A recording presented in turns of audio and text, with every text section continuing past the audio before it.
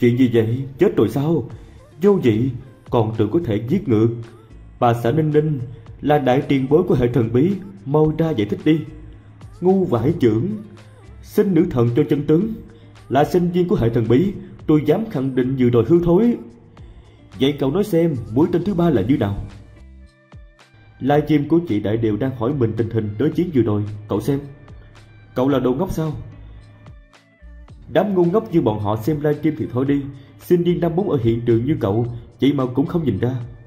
Cô ấy mắng tôi, Cô ấy vậy mà dám mắng tôi. Cô ấy thiệt là, tôi khóc đây. Người phụ nữ này, Em đã thành công thu hút sự chú ý của tôi. Mà hô, mắng tiếp, Mắng tôi thêm chút nữa đi.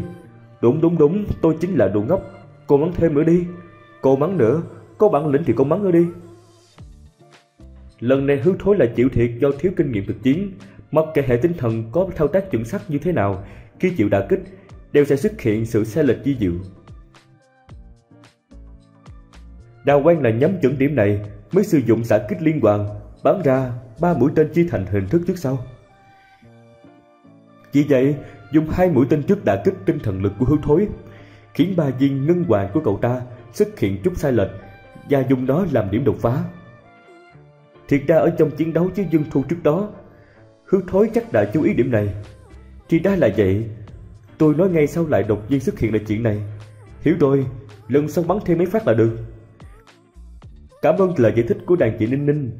Sinh viên hệ thần bí sắp chấm hết rồi. Cảm ơn đàn chị Quảng, Cảm ơn cảm ơn. Rất rõ ràng hứa thối không ý thức được, Vậy nên mới thua như vậy. Chờ đã. Hứa thối hình như vẫn chưa ngã xuống. Nhìn kiểu này là vẫn có thể tiếp tục chiến đấu sao? Nhìn dáng vẻ là bị thương rồi, Nhưng mũi tên không phải đâm vào ngực sao?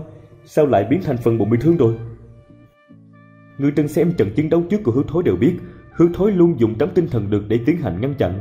Nhưng bây giờ lại dùng khiên tinh thần hình ngũ giác. Cái mà sự thay đổi của hình dạng mang tới không chỉ là sự thay đổi của vẻ ngoài.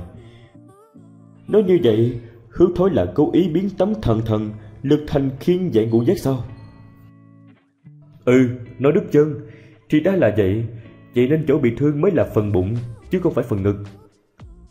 Lần này vẫn thiệt là sơ ý.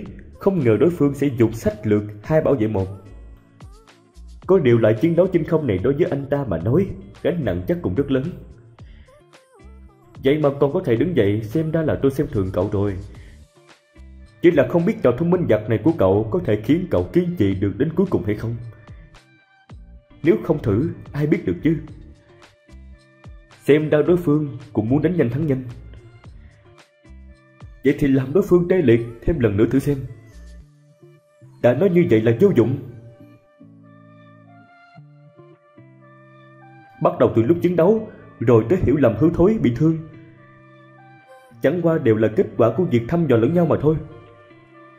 Có thể nói chiến đấu thiệt sự Giữa hai người bây giờ mới bắt đầu. Tôi không rõ hai bên đều có chiêu bài gì. Nhưng hiện nay, khi cuộc chiến đấu đang gây cấn, Nếu cậu muốn giữ thực lực cho trận giao lưu ngày mai, Vậy chỉ có thể nói hai người đều là kẻ ngốc. Bây giờ thì xem ai có thể phá vỡ cục diện căng thẳng. Hãy lấy ra đòn sát thủ của mình đi. Nếu không trận chiến đấu này sẽ chỉ trở thành một trận chiến tiêu hao, Không có điểm nhấn, Mà đào quang rất có khả năng sẽ thua do số lượng tên bắn đi. Mình biết, mình biết rồi. Nhưng tên này là quái vật sao? Năm nhất thì có lượng tinh thần khổng lồ như vậy. Còn cùng lúc như chị hai lại trạng thái tấn công và phòng ngự Cái mình làm sao tìm được điểm đột phá đây? Phải sử dụng lá ác chủ bài sao? Nhưng nếu như vậy trước khi trận đấu giao lưu ngày mai diễn ra Có thể khôi phục thể lực hay không cũng là vấn đề. Chỉ sẽ kéo chân của đàn đội thôi. Nhưng nhưng nếu bây giờ không dùng thì sẽ thua thôi Chuyện gì vậy? Ở đây cách đôi đài ít nhất 30 mét, Khoảng cách xa như vậy Cũng có thể công kích tới mình ư Đáng chết, Khoảng cách công kích của tên này Rốt cuộc là bao xa vậy?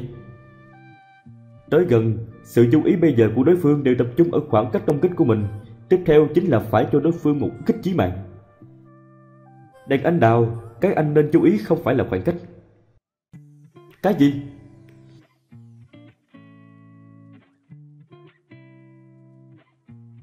Không tốt